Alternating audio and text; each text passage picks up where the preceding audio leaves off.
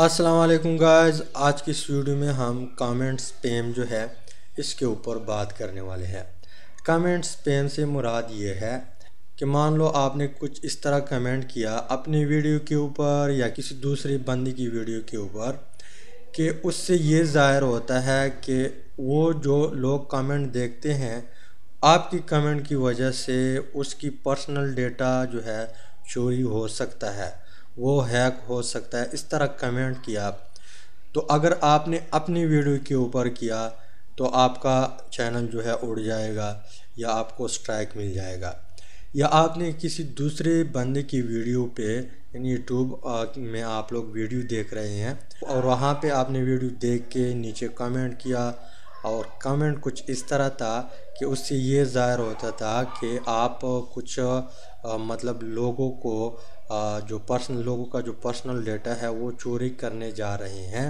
तो आपकी वीडियो बेशक ना हो लेकिन आपकी चैनल जो है वो उड़ जाएगा आप लोगों को स्ट्राइक मिल जाएगा।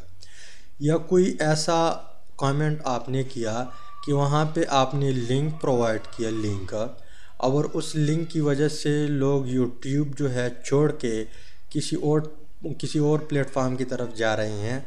तो इस तरह कमेंट करना मुख्तलिफ़ डिफरेंट किस्म की वीडियो के नीचे आपने इस तरह अगर कमेंट किया तो ये यूट्यूब की ख़िलाफ़ वर्जी हैं।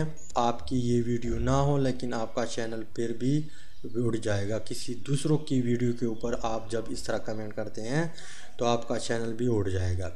इसके अलावा थर्ड वन जो कमेंट स्पैम है, वो ये है कि आपने अपना कोई लिंक उठा के पचास, साठ या सौ वीडियो के नीचे वो कमेंट किया। यानी एक कमेंट आपने बहुत ज़्यादा रिपीट किया।